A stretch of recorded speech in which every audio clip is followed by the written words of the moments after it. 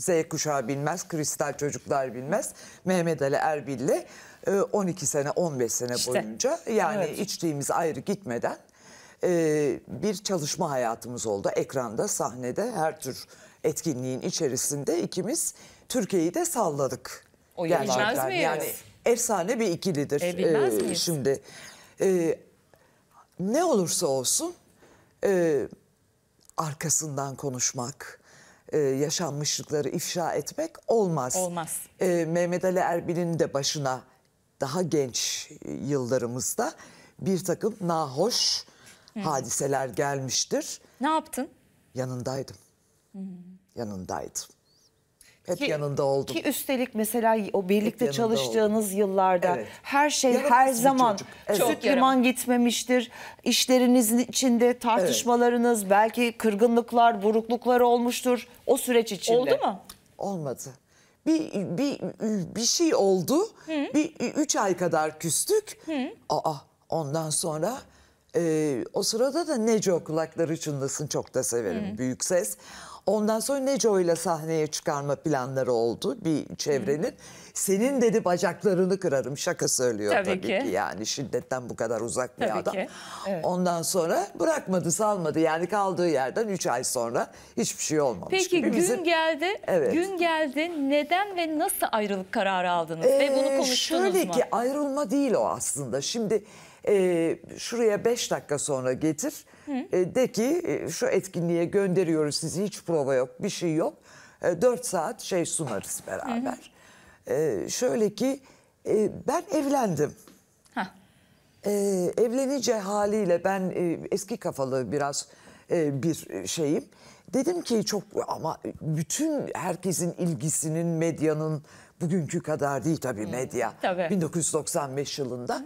Ben dedim bu kadar göz önünde olursam ben hata yapmasam da hatalı bir şey gelişir ve soyadını taşıdığım aileye incitebilir e, yazılan çizilen bir adım geri durayım dedim. O sırada da e, hızını alamayan Mehmet Ali yani tek başına projeler geldi falan filan. Ee, tek başına aldığı e, sinema filmleri o efsane ikili. Ee, bak kaç senedir unutulmayan. Peki o dönemde kırıldın Ben- mı? Hayır. Film de geliyordu en fazla ondan sonra e, başka şey de geliyordu. Tek başına gidip sunabileceği daha farklı O zaman siz projelerde. oturup da hadi bir ayrılalım demediniz. Akış öyle. Kendiliğinden Biz hayat hiç öyle, öyle şeyleri akıttı. konuşmayız. Su akar zaman. yolunu bulur Hiçbir gibi. zaman susarak anlarız birbirimizi. Ee, çok da seviyorum. Bakın biz birlikte çalıştığımızın iki misli yıl geçti aradan bir arada çalışmayalı. Hala o benim hayatımdaki en kıymetli insanlardan birisidir. Peki bir gün filmi olursa Mehmet Ali Erbil'de bir karakter çünkü yarın öbür gün onun da hayatı e, beyaz perdeye ya da bir diziye konu olabilir. Evet. Oynar mısın? Tabii ki oynarım. Peki Mehmet Her Ali, Er-. Mehmet Ali Erbil'e sormuşlar. Eğer bir filminiz çekilirse sizi kim oynasın diye. Tam Mehmet Ali Erbil'den beklenecek cevap kimmiş acaba? geliyor Ha. sevgili izleyici. Evet. Beklenen yanıt. Yasin Erbil, babam sevgilisi Gülseren'le evlenmesin dedi. Baba Mehmet Ali Erbil ilk kez konuştu. eninde sonunda e, ben ne dersem onu kabullenecek. Oğlumla çok iyi. Yaşları birbirine yakın ol- olduğu için relasyonları çok iyi onunla.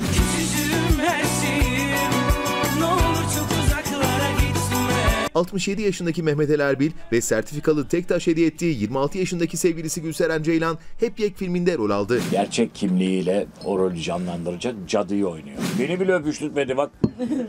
bu, bu, bu, bu filmde öpüştürtmedi. Mehmet Ali Erbil'in kızı Yasmin Erbil geçtiğimiz haftalarda bu ilişkiye karşı çıkmış babasının evlenmesini istemediğini belirtmişti. Baba Erbil'den flash açıklamalar geldi. O kendi psikolojisiyle öyle yaklaşıyor tabii ama herhangi bir şekilde babasına karşı gelmiş değil yani eninde sonunda e, ben ne dersem onu kabullenecek çocuğum olduğu için babası olduğum için ona saygı duyacak ama ben de onun ilişkisine saygı duyuyorum hiçbir şekilde e, de, sosyal davranışlarına arkadaşlarıyla olan ilişkilerine hiçbir şekilde karışmam etmem Biz tutucu bir aileyiz. böyle bir e, modern bir aileyiz. Modern bir aile derken de bazı şeylerde de çok tutucuyuzdur yani. Öyle dışarıdan görüldüğü gibi değiliz.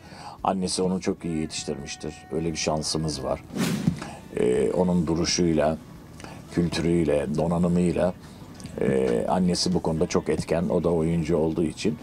Ben de oyuncu olduğum için bu bir dezavantaj gibi ba- bazen görünüyor. Hani avantaj gibi insanlar düşünse de dezavantaj oluyor bir çocuk için. Yani anne baba ünlüyse, oyuncuysa böyle de bir handikap var. Oğlum Ali Sadi ve sevgilim Gülseren'in yaşları birbirine yakın. Çok iyi anlaşıyorlar. Gülseren Hanım'la ilişkileri nasıldı peki? Onlar daha hiçbir araya gelmediler. Doğum Di- diğerleri geldik. Doğan doğum gününde geldi. Ee, diğer büyük kızım haftada bir iki gelirler torunumla birlikte. Onlarla çok iyi e, diyaloğu. Ee, oğlumla çok iyi. Yaşları birbirine yakın ol- olduğu için relasyonları çok iyi onunla. Sadece o e, tabii ki röportajlarda birazcık boşluğuna da denk geliyor. Ee, içindekileri döküveriyor birdenbire. Tabii genç olduğu için. Benim hayatımı Fatih Yürek ya da Bülent Ersoy oynasın. Hayatınız film olsa hangi oyuncunun oynamasını isterdiniz? 60 artı olurdu benim filmim. benim rolümü ya Fatih Yürek oynardı ya Bülent Ha- Hanım oynardı. Şimdi ha, Evet. o filmde tabii benim de rolüm var. Tabii, senin- Hayatının en önemli ikilisi. Ben, ben de seçeyim o zaman benim rolümü. Ben ciddi seçimler yapıyorum. Evet. E, ya Yelda oynasın ya Serenay. Ya. Tabii. evet. Zaten birbirlerine yakınlar doğru. Evet, evet. Ay canımsınız. Ay çok Oynarım iyi. hayatım, tabii Fatih ki Yürek ben. ve Yelda ama. Nasıl? Fatih çünkü Yürek mi beni oynayacak? diyor Ay, Fatih? Yürek oynasın Fatih diyor. Yürek'le Bülent Ersoy Bülent oynasın. Ersoy diyor. oynasın diyor. Tabii ikisi klasik çok Mehmet Ali Erbil. Çok Zipliği. olduğu için. İzlediğim vakit duygulanıyor musun? Aklına o sizin 80'ler 90'lar geliyor mu? Yani hiç öyle bir araya yıllar girmiş falan gibi hissetmiyorum. Ha, bir sanki- paralel evrenimiz var. Evet. Ee, ondan sonra orada devam ediyor gibi Sizin hissediyorum. paralel evrende çok da özel bir diliniz var. Röportaja Tabii, tabii, giderdik. evet. Aha, kendi aralarında bir anlaşırlardı. Ben böyle mum gibi Çok duruyordum. Örnek versene nasıl Ya, mesela? kelime- kelimeleri en eğlenceli ama- yıllarını çalı- onunla çalışırken. Makyajları ve giy, giymeleri çıkarmaları bile kuliste de Tabii. giriyordum çünkü ben. Sağ olsun Tabii. Çiğdem beni kuliste de alıyordu. canım, ya demek, çok eğlenceli. Yani Çok, siz tabii. sahnenin Evet. dışında sosyal hayatta da eğleniyordunuz. Eğlenceliydik. Evet, evet, tabii. Evet, adam eğlenceli bir adamdı. Bak, e, hayatımın en eğlenceli yıllarını bu e, be- e, şey sahne ve ekran ikilisi olarak çalıştığımız yıllarda yaşadım. Evet. Gerçi şimdi bugün 8 senedir, 9 senedir benim tiyatrom var. Burada da çok eğleniyorum, aşırı eğleniyorum. Ama onunla olan o e, süreç çok farklı gerçekten. Evet. Çünkü bir elma olarak çıkıyorsun sahneye. Yarısı sensin, yarısı o. Tabii Değil mi? ki. Bir bütün. Kesinlikle. Tabii ki Evet. elbette. Oscar'a gidelim mi ya? Ne konuşuldu Oscar? Evet. Ve bizim şeflerimiz o muhteşem sunumlarla. Çok gurur verici ya. Evet ya. Evet. Ve Böyle bir insanın e, göğsünü kabartan bir, Bir Türk durum. damgası var yani. Evet. Değil mi? Olmasın mı? Yemekler. Her konuda çok iyi Türkler. Evet. Tabii ki. Özeliz. izleyelim.